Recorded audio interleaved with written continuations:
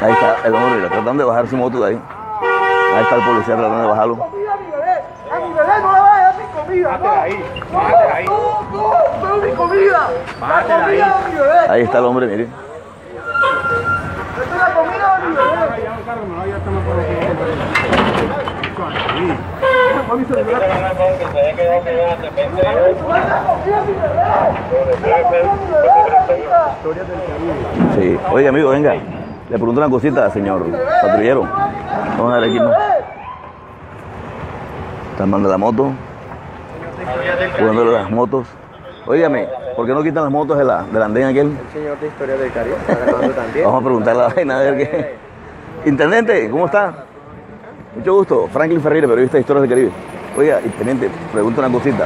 ¿Por qué las motos de la 28 que están en la acera no las quitan? Ya vamos a hacer los controles. Vamos a ver si lo van a hacer. Vamos a ver si lo van a hacer. A ver.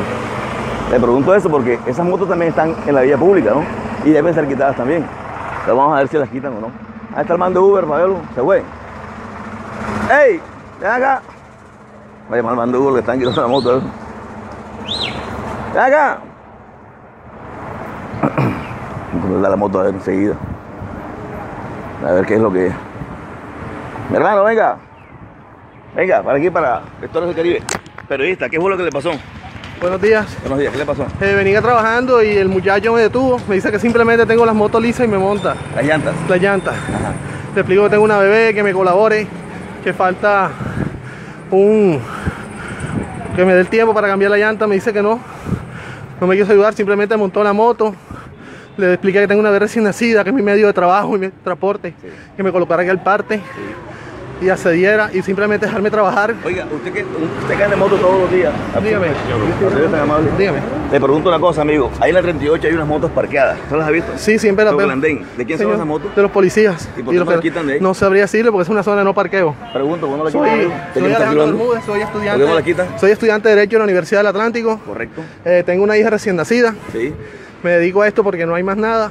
Sí, eso- es un No soy malandro, no, traba- no tengo un trabajo estable.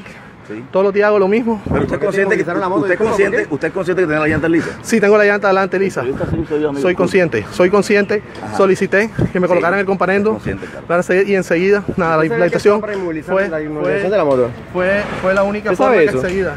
Sí, ¿usted sabe que hay movilización de la moto? No, no sabía. Y pregunto, ¿y las motos que están en la, en la vía pública? ¿Por qué no las quitan? ¿No hay movilización también? También es la pregunta. Yo vamos para allá a ver qué es Sí, lo que claro, vamos. Venga, amigo, venga. Vamos a hablar. Venga, sígueme, sígueme. Vamos a hablar porque la ley es para todos, ¿no? Vamos a ver qué ocurre aquí con, con la gente porque las cosas son como son o dejan de ser. Vamos a ver quién, me- quién me responde por la, el tema de las motos. Vamos a ponerle pausa esta vaina aquí. Ahí está la grúa llena de motos, pero las motos de la esquina no la quitan. la pregunta y aquí John Baena nos está filmando porque obviamente se sienten aludidos, ¿no? No tengo Entonces, ¿qué va a hacer? No, tengo- ¿Qué va a no- no hacer? sé qué hacer, quedé sin trabajo, no tengo los medios para sacar mi moto, me tocará ponerme a delinquir, que es a lo que me invitan ellos, me invita la sociedad a delinquir porque mi medio de transporte, mi trabajo me lo acaban de quitar. Entonces tocará delinquir a partir de hoy para conseguir mi, mi transporte y mi comida a la niña.